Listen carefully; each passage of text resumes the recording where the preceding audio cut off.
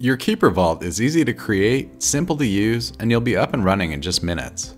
You can create and access your Keeper Vault by either logging in directly from Keeper via an email invitation from your Keeper administrator or from your SSO provider dashboard. You may have received an email from your organization's Keeper administrator inviting you to create a Keeper account with a subject line that reads, Action Required Instructions for your Keeper Security Account.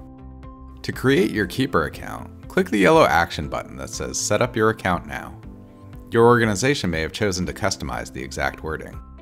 Since your Keeper account is deployed through your single sign on identity provider integration, you will automatically be routed to authenticate against your IDP if a current SSO session is not active. Once you have successfully authenticated to the IDP, you will be routed to your Keeper Vault. Upon accessing your vault, you may receive a vault transfer acceptance dialog. Next, you will be guided through a quick start walkthrough that will help you either import passwords from your browser or other password manager, if enabled by your Keeper admin, or manually create new records. Please note the Quick Start module may be disabled by your Keeper admin. Alternatively, you can create your Keeper account by visiting your SSO provider dashboard. This is called Identity Provider Initiated Login. First, log into your existing single sign-on identity provider as you normally do. You will observe your Keeper administrator as integrated Keeper into your identity provider dashboard. Simply click the Keeper icon to launch the Keeper application. You can log into Keeper by entering either your email address or enterprise domain at Keeper's login page. For email address login, from the Keeper Vault login page, enter your email address and click Next. You will automatically be routed to your identity provider to sign in. Once you have successfully authenticated to the IDP, you'll be routed to your Keeper Vault. For Enterprise Domain Login, from the Keeper Vault login page, select Enterprise SSO Login.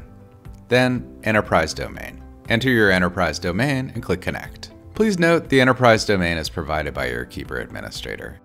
You will automatically be routed to your identity provider to sign in. Once you have successfully authenticated to the IDP, you will be routed to your Keeper Vault. For SSO initiated login, log into your existing single sign on identity provider as you normally do. Simply click the Keeper icon to launch the Keeper application, and you will be routed to your Keeper Vault. If you sign into Keeper on a new platform, you may encounter a device approval request. If you are attempting to log in on an unrecognized device or browser, a device approval must take place before you can proceed to your Keeper Vault. Users have two methods of approval to choose from, Keeper Push or Admin Approval. Keeper Push is Keeper's proprietary notification based device approval system that sends a push notification to an existing recognized device. This is a self service process that allows users to handle the device approval on their own. Admin approval will send a notification to your Keeper admin requesting device approval. If you do not have an existing recognized device, this will be the only path to gain access again. Once the device has been approved, you will be able to proceed to your Keeper Vault.